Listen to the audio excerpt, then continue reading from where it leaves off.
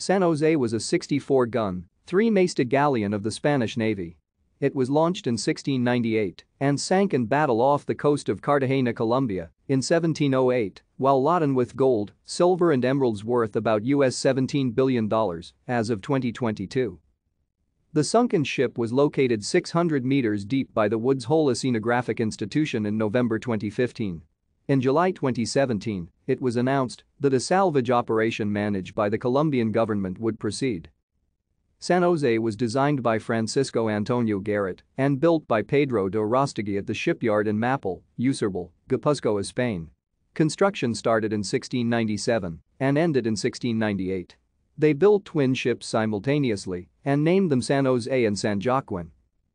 San Jose and San Joaquin were part of the Spanish treasure fleet during the War of the Spanish Succession under General José Fernández de Santillán, the Count of Casa Alegre.